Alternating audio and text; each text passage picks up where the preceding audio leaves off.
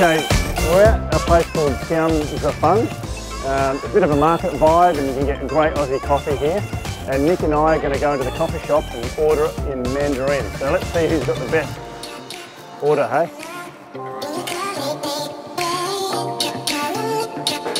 I'm going to order for you, and you're going to order for me. So I want a cappuccino. What do you want? A latte, thanks. Okay. Yeah. All right. Let's let's do it.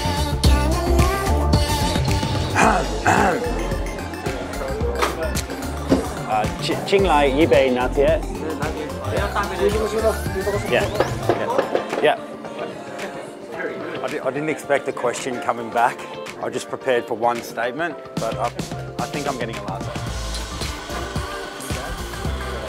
Hey, babe, cappuccino.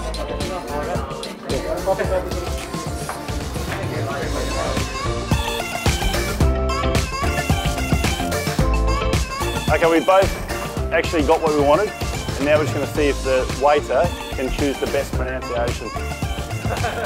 Yes!